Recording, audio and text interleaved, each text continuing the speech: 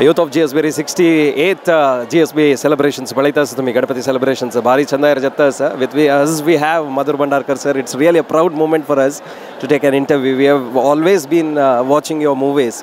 So, after uh, having darshan of Ganpati Bappa, how did you feel, sir? And from since how many years you are coming here? Great, really great. And for me, it's divine, amazing. Always seen pictures and my parents, my relatives, my sister. Every time they used to come here, and I'm coming for a first time. I, used to, I go to Ram Mandir over there, but this is the first darshan and very nice.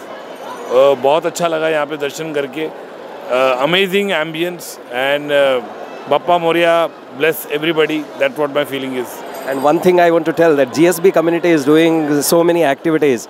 Can we watch a movie in future about GSB community, about Ganapati Bappa? GSB community is uh, definitely the contribution is worldwide, and they have contributed a lot uh, in in the society, uh, and and every every sphere if you see, the the GSB community is always there, the very helping hand always there, and I'm very happy to be uh, over here and to be a GSB.